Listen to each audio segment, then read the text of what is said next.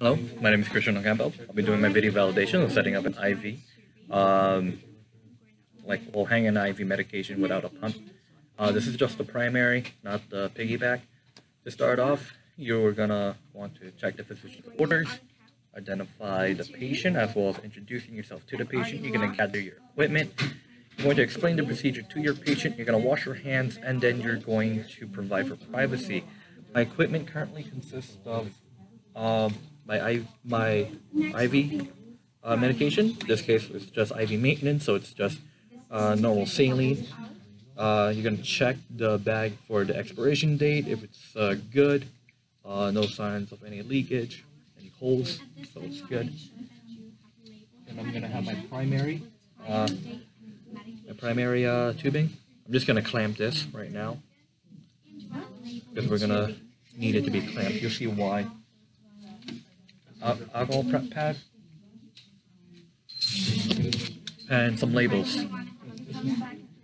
So to start off, you're going to uh, assess your patient's IV site right here.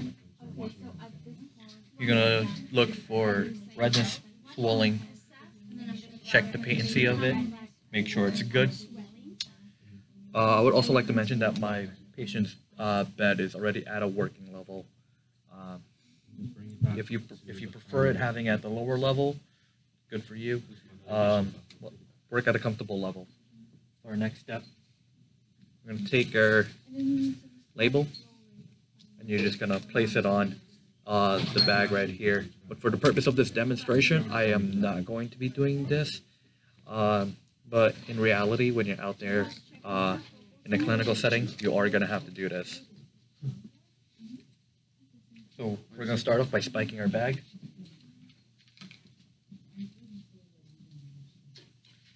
So we're gonna remove our spike cover. Just like so.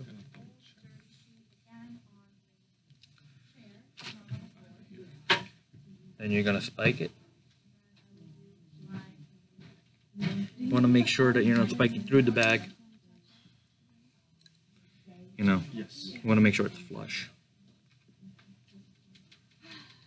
Now we're gonna hang our bag.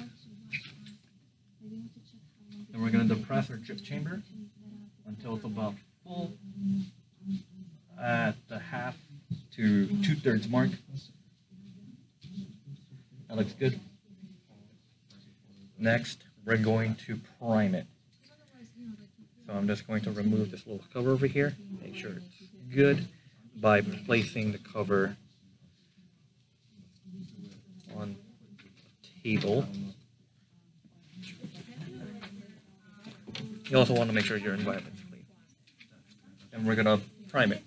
So we're gonna take our roller clamp and unroll it back up slowly, so that way we're not losing too much fluid.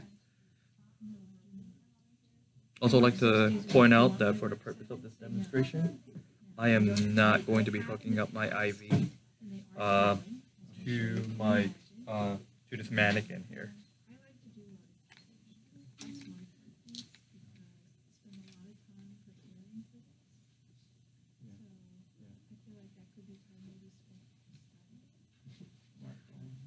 So true.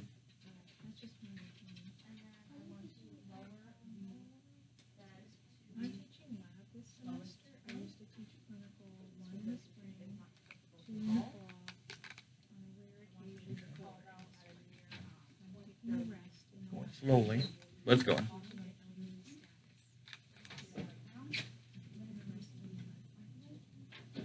Just want to make sure that it's going. You want to make sure you get rid of any air bubbles that's in your in your line.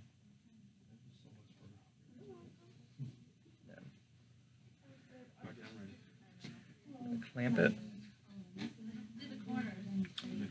Next up, take our alcohol prep pad, open it up, and we're gonna clean the access port. Hi. So my name is Cheng Wan Lee. Today I'm going to do a video gonna clean that validation access on port right here. secondary I'm gonna rub it for about 15 seconds or so in circular motion. This is for Professor Hayes, section 602. And as stated earlier, I am not going to actually First, I'm going to go hook it up like so. So instead, I'm just gonna have this just sitting in a kidney basin. So now that it's hooked up to our patient, we're gonna undo the clamp, and then we're gonna get our uh, we're gonna set up our uh, tubing in matters of drops per minute. Uh, so in this case, we're gonna be going for 60 drops in a minute.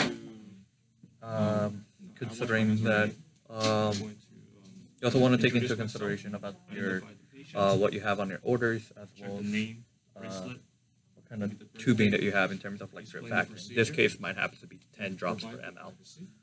So First, using the roller clamp, me bring the bed to a working level. we are going to uh, use our watch as well. Make sure we get the right amount of drops uh, in a minute.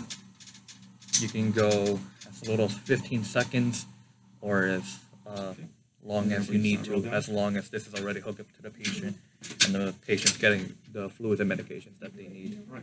Before anything, uh, the primary tubing is running, as So? we're imagining it. um, So I'm we're gonna check aim for for uh, 15 retinal drops or swelling, 15 seconds. Uh, check the site, the skin, any rash, everything seems good.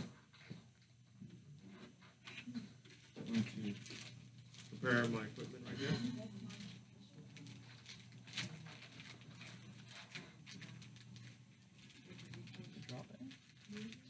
That dropped.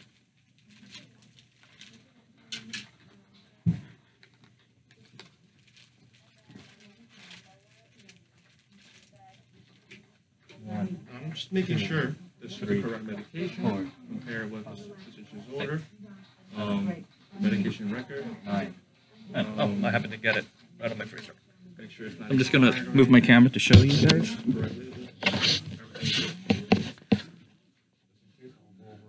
So you're just gonna uh, match the drops that's going down on the drip chamber to your watch, to your second hand, and make sure that um, it's going. You're getting the amount of drops that's needed in the correct amount of time. So in this case, since I'm going for uh, 60 drops per minute, there should be a drop at relatively every second. So one, two, three, four, five, six. You know, get the point.